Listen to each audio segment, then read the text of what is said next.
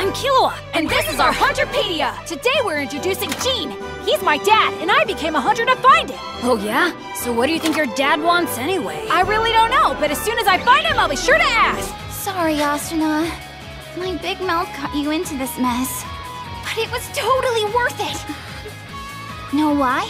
Cause just now, I saw the best smile I've ever seen on you. If you mess up, you just have to look for a better way to go. I'm sure that there's one. And I know that you can find it. Cause after all, you're Alibaba whom I love so much.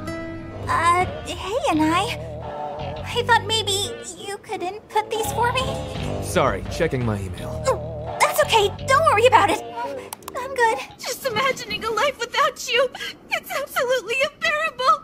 Yes, I, I just don't want you to go. Please, Master No for me. Oh, now I get it. Yeah, you guys want me to use good old Senketsu here to fight for the sake of humanity, right? Well, you know what? You can blow it out your ass! You're pretty spunky for a little guy. Where'd you come from? Ah! Uh, oh. You don't know where you came from? Do you have a name? Stitch. I'm I. How come you just came out of the sky? Well, I gotta go. Let's race sometime. See you, Bunhead.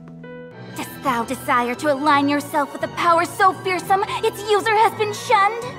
Huh? If so, show me thy resolve and stare into the ultimate abyss with me. But Take heed, for if thou dost stare into it, the abyss shalt also stare into thee.